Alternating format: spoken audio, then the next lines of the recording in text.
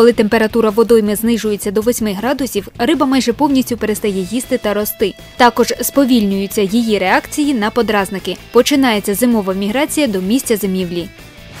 Віталій Ганусовський, головний державний інспектор Миколаївського рибоохоронного патруля. Що таке зимувальна яма? Це може бути поглиблення у вигляді ями, де риба скупчується і проводить зиму. Як дізнатися про місця скупчення?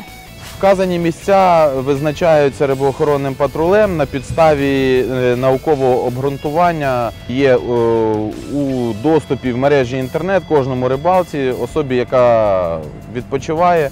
Можна знайти на сайті е, управлінь Держрибагентства та Державного агентства рибного господарства України. Даними картами користуються і браконьєри.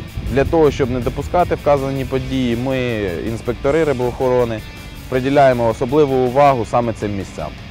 За рибальство на зимувальних ямах визначено штраф як за грубе порушення правил любительського спортивного рибальства, е, а саме штраф визначається в межах від 340 гривень до 680 гривень.